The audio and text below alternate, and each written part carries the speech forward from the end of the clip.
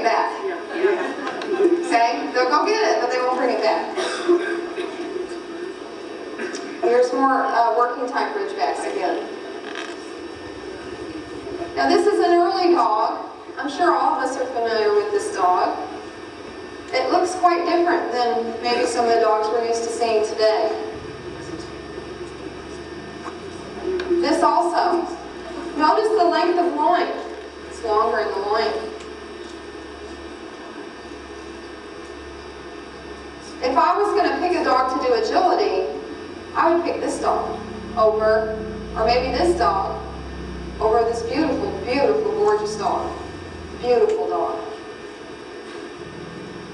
This is um, more of a, a foundation type breeding stock.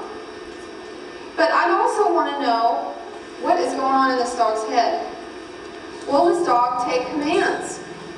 Um, so many of our dogs, you know, and, and, and once again, I'm not saying it's necessarily a bad thing. If we're breeding primarily show and pet dogs for people in suburbia, we probably don't want a working type temperament. I know my border collie is not, would not be a good pet. He absolutely would not be.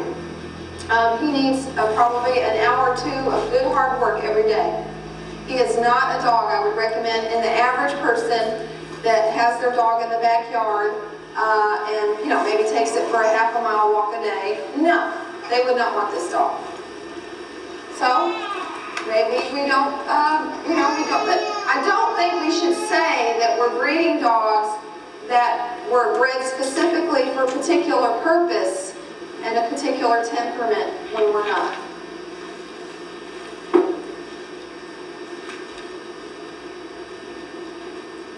So, um, see, I have a few other little things here to say.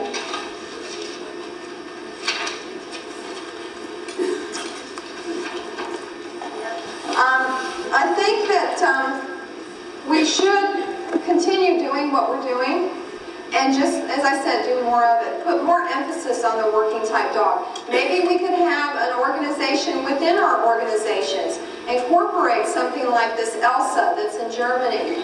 Um, maybe consider um, you know, giving some sort of register of merits, not maybe registering dogs that are not purebred, um, but uh, giving more emphasis to dogs that do particular jobs within our breed.